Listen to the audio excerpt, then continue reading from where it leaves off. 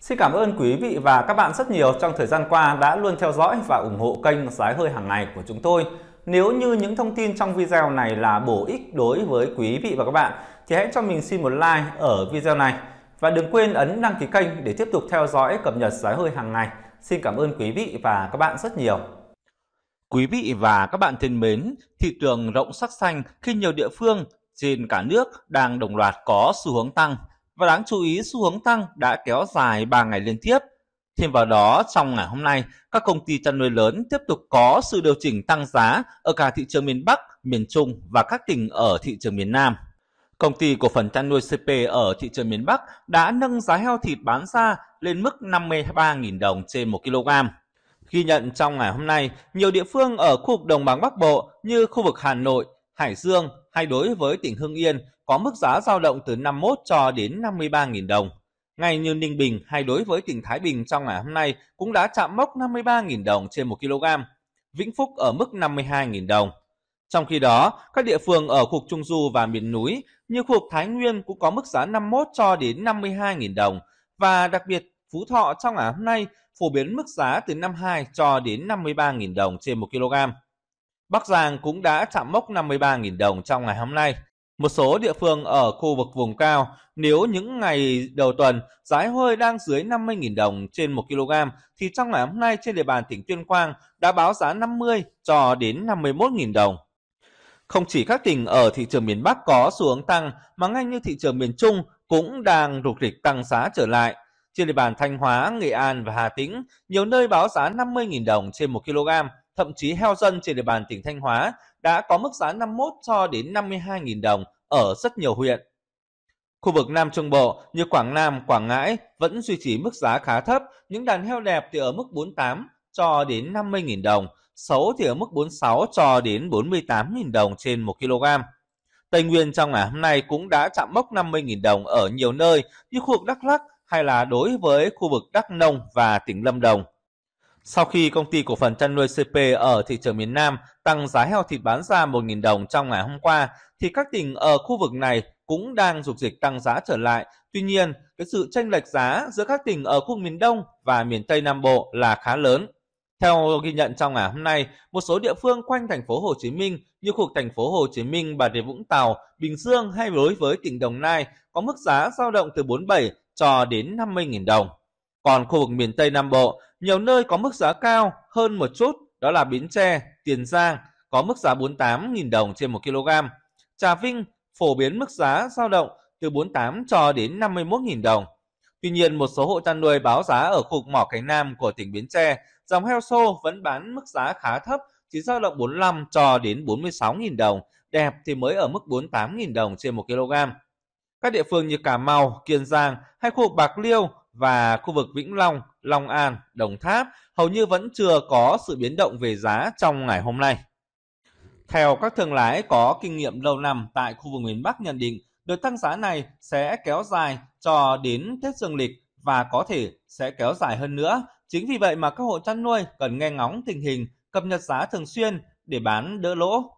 Và chi tiết hơn theo ghi nhận, giá heo được cập nhật mới nhất trong ngày hôm nay ở tất cả các địa phương trên phạm vi cả nước như sau.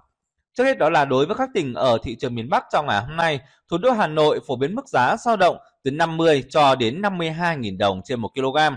Khu vực Đông Anh của thành phố Hà Nội trong ngày hôm nay, dòng bán trọn đã bán ở mức giá 52.000 đồng, Ba Vì 51.000 đồng trên 1 kg. Khu vực Ứng Hòa của thành phố Hà Nội trong ngày hôm nay cũng đã có mức giá 51.000 đồng. Hải Dương phổ biến mức giá 52.000 đồng trên 1 kg. Khu vực Gia Lộc có mức giá này.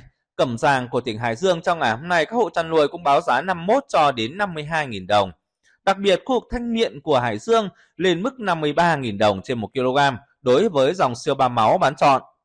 Hải Phòng có mức giá 50 cho đến 52.000 đồng. Hưng Yên trong ngày hôm nay có mức giá dao động từ 51 cho đến 53.000 đồng trên 1 kg. Khu vực Phù Cử, Khoái Châu, khu vực Tiên Lữ của tỉnh Hưng Yên đang phổ biến mức giá 52.000 đồng. Mức giá 53.000 đồng ở huyện Khoái Châu vẫn có nhưng bán với số lượng ít. Vĩnh Phúc có mức giá 52.000 đồng. Lập Thạch, Sông Lô hay khu vực Vĩnh Tường đang có mức giá này. Bắc Ninh phối mức giá 51 cho đến 53.000 đồng trên 1 kg. Khu vực Yên Phong của tỉnh Bắc Ninh trong ngày hôm nay, dòng heo đẹp có mức giá rất cao 53.000 đồng. Nam Định 52.000 đồng trên 1 kg. Một số hộ chăn nuôi báo giá ở huyện Xuân Trường và Ý Yên trong ngày hôm nay có mức giá 52.000 đồng. Khu vực Yên Khánh của tỉnh Ninh Bình trong ngày hôm nay cũng đã chạm mốc 53.000 đồng trên 1 kg. Tuy nhiên, khu vực Kim Sơn chỉ có mức giá 50 cho đến 51.000 đồng. Yên Mô cũng có mức giá 51.000 đồng trên 1 kg. Hà Nam 50.000 đồng. Thái Bình trong ngày hôm nay cũng đã chạm mốc 53.000 đồng trên 1 kg. Cụ thể, một số huyện trên địa bàn tỉnh Thái Bình có mức giá cao như Hưng Hà 53.000 đồng, Hục Đông Hưng trong ngày hôm nay cũng phổ biến mức giá 52 cho đến 53.000 đồng, Thái Thụy 53.000 đồng trên 1 kg. Bắc Giang có mức giá 51 cho đến 53.000 đồng. Ở khu vực Yên Thế của tỉnh Bắc Giang, lợn mẹ trắng có mức giá 50 cho đến 51.000 đồng. Tuy nhiên, đối với bán chọn có mức giá 52 cho đến 53.000 đồng trên 1 kg. Thái Nguyên phổ biến mức giá 51 cho đến 52.000 đồng. Khu Đại Từ trong ngày hôm nay đã xuất hiện mức giá 52.000 đồng ở nhiều nơi và có thể nay mai sẽ xuất hiện mức giá 53.000 đồng. Phú Thọ phổ biến mức giá 50 cho đến 53.000 đồng. Một số hộ chăn nuôi báo giá khu Đoan Hùng đạt 52.000 đồng, Phú Ninh 51.000 đồng trên 1 kg, khu Yên Lập phổ biến mức giá 50 cho đến 52.000 đồng. Bắc Cạn 48 cho đến 51.000 đồng trên 1 kg. Tuyên Quang trong ngày hôm nay ở huyện Yên Sơn có mức giá bán chọn là 50 cho đến 51.000 đồng. Quảng Ninh phổ biến mức giá 50 cho đến 53.000 đồng trên 1 kg. Lạng Sơn trong ngày hôm nay, nhiều nơi báo giá cục Văn Quan có mức giá dao động 52.000 đồng, cục Tràng Định có mức giá 51.000 đồng trên 1 kg. Lào Cai và Yên Bái trong ngày hôm nay, hai địa phương này phổ biến mức giá từ 49 cho đến 51.000 đồng. Hà Giang 50 cho đến 52.000 đồng trên 1 kg.